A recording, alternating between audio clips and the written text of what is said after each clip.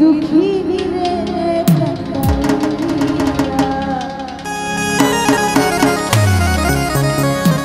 আসলে আজকে বন্ধুর জন্য না, মশার জন্য কান্না আসতেছে, সত্যি কথা।